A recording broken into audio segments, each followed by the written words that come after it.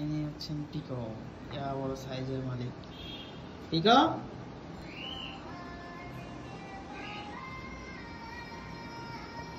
আসো। কি বড় সাইজের নাচ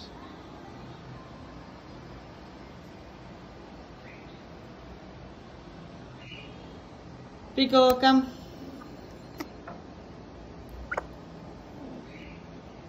এখন আদরে ঘুমিয়ে যাবে।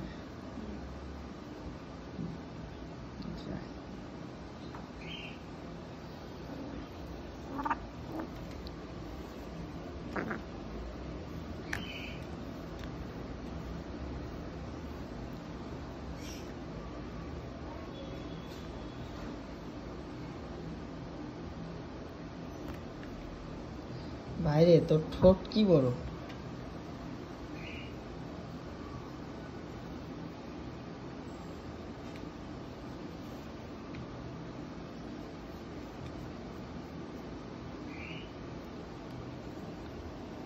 আর খাইতে খাইতে ঘুমাই গেল তো দেখি।